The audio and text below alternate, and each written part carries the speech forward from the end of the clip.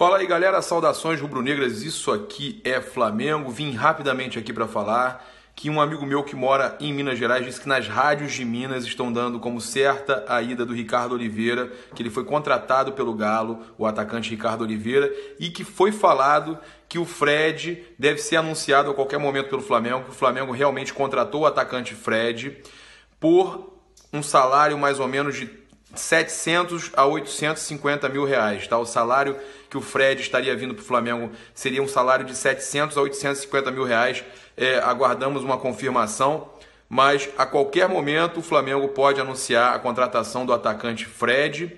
Lembrando que em uma rádio eles falam que está envolvendo um jogador, falou no, no caso o Gabriel, o Jamal, e na outra rádio tinha falado do Mancoedio, tá? Vamos aguardar, vamos ver se realmente envolve algum jogador e a gente traz aqui para vocês. Abraço.